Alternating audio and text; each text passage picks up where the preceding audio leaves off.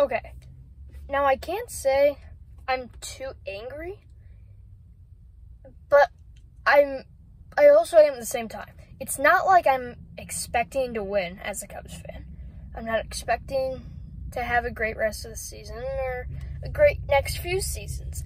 I'm just disappointed at the kind of way we're losing these games. Yesterday, come back in the eighth inning, blow it. Uh, today, we just really couldn't string together anything offensively. Pitching's been okay. Um, I'll give it that. We've kind of blown some late games, but starting pitching's been okay.